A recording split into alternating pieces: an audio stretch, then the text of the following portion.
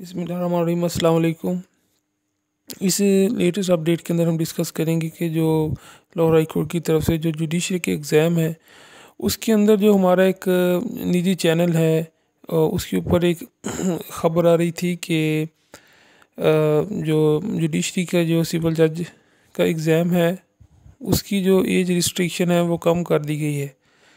तो इस, इसमें कितनी सदाकत है और इसके अंदर यानी कि इसमें जो है वो अगर हम देखते हैं कि इसके अंदर कोई नोटिफिकेशन या कोई किसी किस्म का इसमें चेंज किया गया है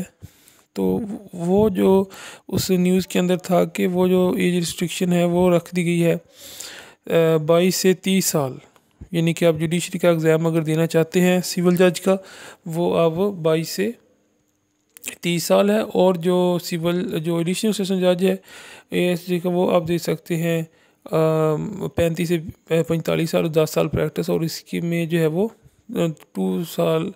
टू ईयर प्रैक्टिस तो इसमें यानी कि ये दोनों चीज़ें आ गई, लेकिन इसमें सदाकत नहीं है।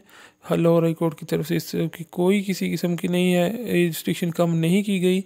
बाईस से पैंतीस साल के दरमियान आप जो है वो सिविल जज का एग्ज़ाम दे सकते हैं। थैंक्स फॉर वॉचिंग, देखते रहिए ला थ्री सिक्सटी।